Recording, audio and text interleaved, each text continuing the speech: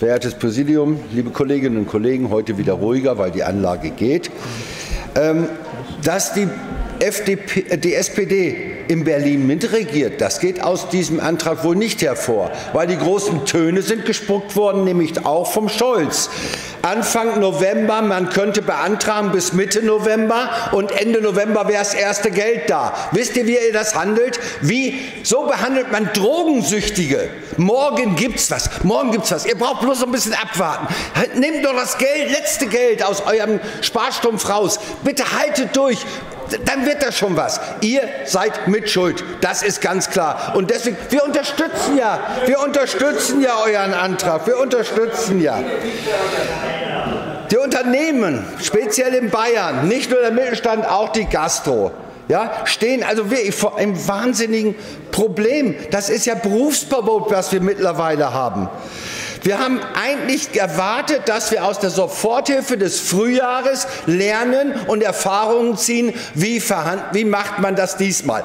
Das Problem ist einfach, die sind so selbst glücklich besoffen davon, diese Äußerung von sich zu geben, wir zahlen alles. Und dann verlassen die Leute sich drauf und dann müsste dann doch irgendwann mal zumachen.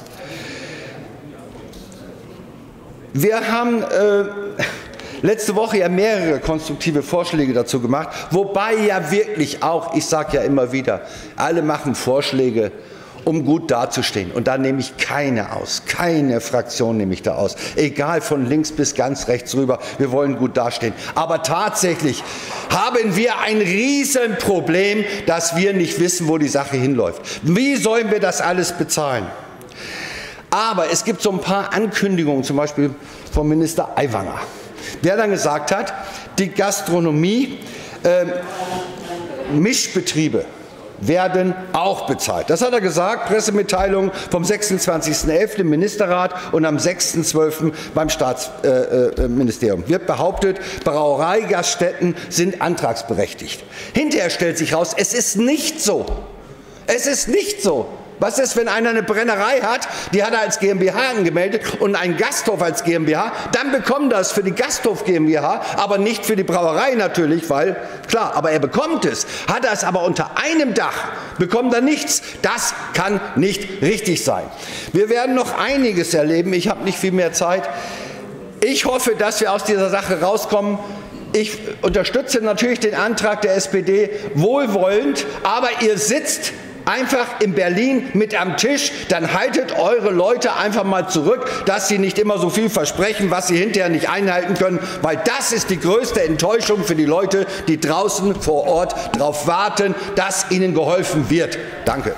Hallo, Herr Dünn, bitte können Sie noch am Rednerpult bleiben. Rechtzeitig gemeldet hat sich noch der Kollege Hallbleib seiner Zwischenintervention. Bitte schön. Ich entnehme Ihren äh, Beitrag vor allem das Bedauern darüber, dass die FDP aus der Regierungsverantwortung geflüchtet ist. Zunächst Auch das.